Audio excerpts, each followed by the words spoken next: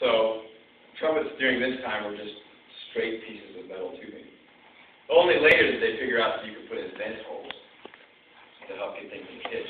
But the only notes that I have available to me are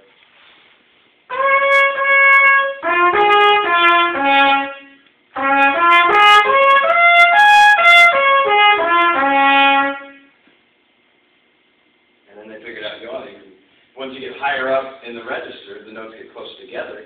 If you get high enough, you can actually play a scale.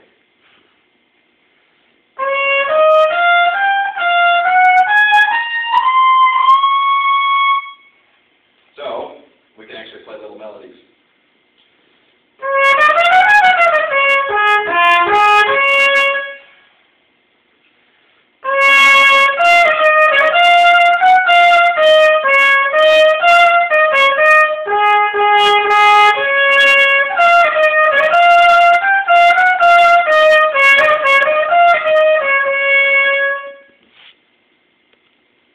I guess you guys